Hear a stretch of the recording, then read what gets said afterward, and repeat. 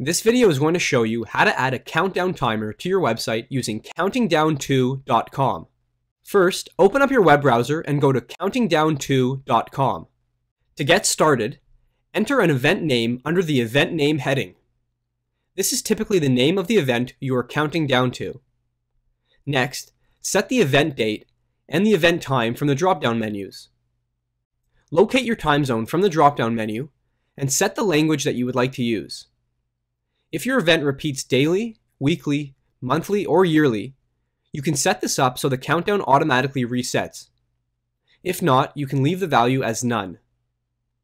If you want to link the countdown timer somewhere, enter the URL in the link field, otherwise leave it blank. When you are done, click on the Add to your website button. Next, highlight the code and copy it. Now, drag and drop an HTML snippet in Everweb. Paste the code into the HTML code box. You can move the timer anywhere on your page.